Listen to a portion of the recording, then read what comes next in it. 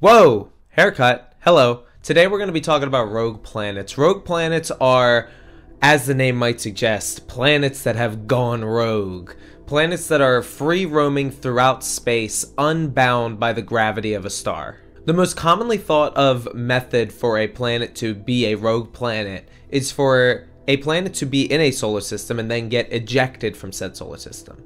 But there is also a theory that states that a planet might form just out in space without a solar system.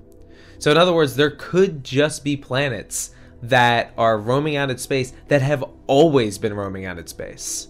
As we advance our technologies and see deeper into space, we're going to be uncovering more and more information and maybe one day even images of rogue planets.